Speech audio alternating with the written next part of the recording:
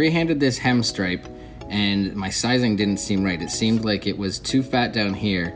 My sides was okay, they were the right distance. So I thought maybe I could use this caliper tool and somehow make it equal. So I measured here, got my distance. I then took this end and dipped it into some paint, putting paint on the caliper tool. Then when I traced onto my figure, you can see that it's left a, red line. Now I'll just take my brush and I'll fill that in and I'll have a nice equal hem stripe. Just thought I'd share that tip.